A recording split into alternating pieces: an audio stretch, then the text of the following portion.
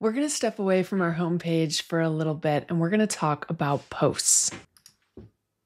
As you may have recalled, I changed my website so that the posts are now showing on the blog page. My posts are going to display here, and because I have more than 10 posts, I have a second page which is going to show my additional posts. You may want to adjust how many posts are going to show, and we're also going to incorporate some images to make our posts a little bit more visual. So let's work with the posts. The first thing I'm going to do is I'm going to go to the dashboard, and if we go to Settings, Reading, this is where we can control how many blog posts are going to show per page. So currently it's on 10. If I change this to 9 and save changes, and we go back to the front end portion of our website, you can now see that just nine posts are going to show. And then the user would have to go to the second page or click next to see the additional posts. The next thing we're going to do is we're going to go into our posts and we are going to add some featured images. I'm going to start off by going to the most recent post and I will click edit. I'm going to open up the sidebar, and this is where we can set the featured image. I'll click on this, and I'm going to choose an image to add for this post. I do want to point out that the size of my image is a square image. I'm going to be using some different sizes because I want to show you what happens by default. I'll set the featured image. I'm going to save, and let's just modify a couple of our other posts. I'm going to go to the next post here and click edit. I will set the featured image once again. This time I'm going to use this image. Notice that this image has a slightly different aspect ratio. It's a little bit more rectangular. I'll set this as the featured image and hit save. And then we're going to just do this for right now on one of our other posts. I'll go to the next one right here and click edit. I'm going to set my featured image and we'll find a picture of some succulents. And let's use this one. The aspect ratio is 600 by 400. So this is also a rectangle, but it's more wide than it is tall. I'll click Set Featured Image and we'll hit Save. If we go back to the front end portion of our website and we'll go to our blog listing, you can see that most of these images do not look very good. The third one is the one that looks the best, and that's because with the theme I have installed and by default, the aspect ratio matches the size of that third image. And if we resize our page down, this is what it looks like on mobile. It's really not looking great, especially these first two posts. So this is problematic. You really want to avoid having your images scale in such a way because they just look terrible and they're going to look even worse if you have images of people or animals or something. But in my opinion, this looks horrible. So let's see what we can do about this. I'm going to go back to my WordPress dashboard and we're going to go into Appearance, Customize. And one of the options that we have here is that we can adjust the blog. So I'm going to click on blog and you can see that we have two options here single post, and the blog archive. Our post page is currently displaying as the blog archive. This is going to show us how all of the posts appear on the page. And let's just click on blog so we can view this page as we make these changes. This is the container layout. So we are currently using the default. Normal is going to look extremely similar. We also have narrow, which is going to make our posts appear a little bit more narrow. And then we have full width, which is going to allow them to display full width. I prefer default or normal in this case. You can also choose if you want your containers to be styled by default or unboxed or boxed. And boxed is the default. Then we have a sidebar layout. So this is going to control how our sidebar would show. I don't currently have a sidebar, so I'm just going to leave this at default. And then down here we have the blog layout. So we're currently using the grid layout. We can do more of a list, which is going to display the images to the left and then have the title and the excerpt appearing to the right. You can also augment the post per page here. We changed that in our settings, but this is another place you can modify it. And then we have a cover layout, which is going to put the text over the image. The images look a little bit better here, but I think the text is very difficult to read. There are ways that you could control this by putting an overlay on the images that would need to be augmented under the design area. For now, I'm going to go back to the grid layout.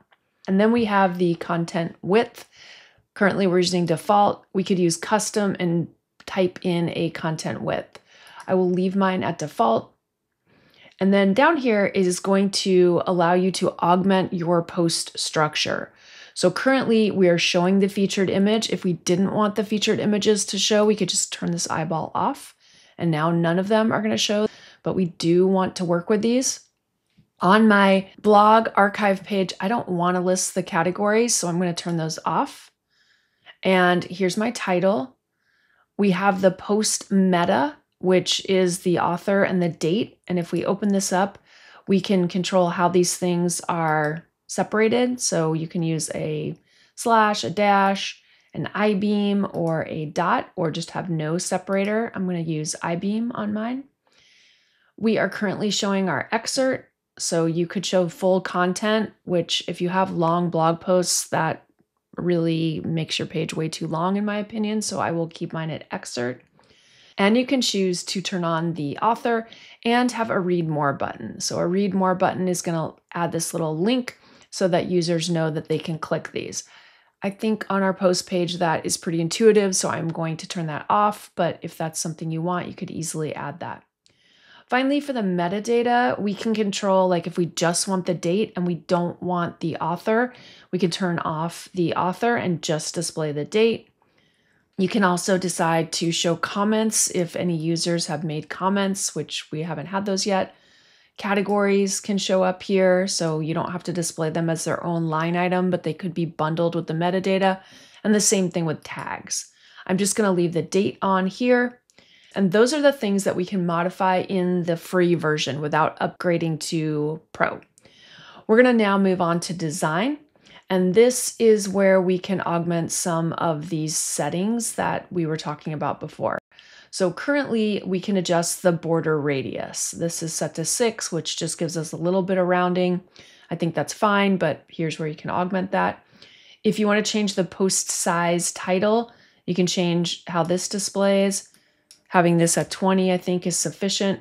And then the meta font size, that's this information right here. If we want to reduce that down a little bit, we could make that uh, slightly smaller. So I'll put mine at 12. So that is pretty much it for the design. We're going to go back to general and I'm going to scroll down to featured image. We're going to expand this box and here is where we can adjust the image ratio. So currently we're using a 16 by 9 image ratio.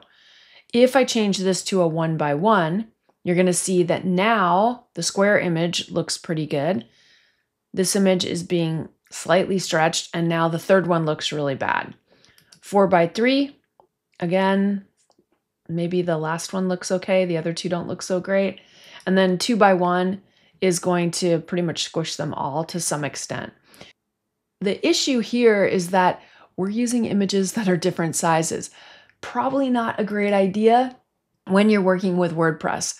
So, what I suggest you do is you decide on the aspect ratio that you want to use and you make sure that all your featured images are prepared at the same aspect ratio. That's going to make them look more standardized and you're not going to get this weird scaling. In addition to these predefined settings, we could go to just original, which is just going to put them in at their original sizes. Obviously, now our images are not being scaled, but the issue is is that they're going to all be different sizes and i just feel like this doesn't make your post archive page look quite as nice. And you can also go to custom and you can specify the actual width that you want and the height that you want. So you could actually plug in custom values. This is going to work a little bit better because what's going to happen is it's going to crop the images. So you can see that now they're the same size and it's just kind of cropping them off.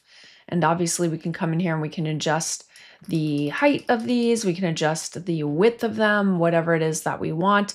But at least they're going to look pretty much standardized and it's not going to unproportionately scale them. I'm going to go back to predefined because I have prepared images that are a size that's going to work. So I'll show you that. But before we move on, we have hover effects. You may have noticed that when I hover over, these kind of like zoom in. We could have them zoom out, which just means they scale down. And then none is going to have no zoom occur. I kind of like the zoom in, so I'll leave that. Image size, we can choose different sizes. So we're currently using large. If we go down to medium or even thumbnail for this particular theme, it's not really changing anything other than the resolution of our images doesn't look so good. So on thumbnail, it's taking a thumbnail version of the images. I'm not sure why it's not really doing it here, but it doesn't look great. And then we have these plugged in like custom sizes. I'm going to leave mine at large because my images at least look nice and crisp. So what we're going to do is we're going to use some different images so that we can improve the way that this looks. I will hit publish to accept these changes and let's deal with the images first. So the thumbnail images, let's flesh these out and get these looking the way we want. I'm going to click the X to close out of here. I'm going to go into my media and I'm going to add some additional media files. So I'm going to click add new media files. I have prepared 12 images for my posts and I have sized these to be at the aspect ratio that I currently want to be using in my website. I did that in my image editing program. I'll select the images and click open. They're going to upload into WordPress. And if I click on any of these images, they all are 600 by 400. So all of these new images, I've sized them all so they're the appropriate size. They are what I want to use for this particular portion of my website. So now that I have those, I'm going to go back to my posts area and we're going to edit these and we're just going to replace the featured image. I have featured images. This is called T Post 12 which is for Terra Diem post 12. I'll hit save. I'm going to go back to the next post and we're just going to do the same thing. We'll replace this image. I have another image that I've made for this one. We'll set this, save. And what I recommend is when you first set up WordPress and you're making your posts, go ahead and and add a featured image. You know, decide if you want to use a featured image and then prepare the images use so they are at the right size. That's going to save you a little bit of time, obviously. I just wanted to kind of show you what happens if you don't have images that are optimal and maybe don't look exactly how you want them to look, or the fact that maybe you weren't aware that using images of different aspect ratios could cause problems. So we've done this on about four of our posts. You get the idea. I'm just going to quickly add the other images for my additional posts, and then I will show you what we're going to do next. All right, now I've added images to all of my posts, and if I refresh, and here I am on the blog page, you can see that all of my images look great. This has really enhanced my blog page. I think it makes it much more compelling for users to want to click and discover more about this particular post.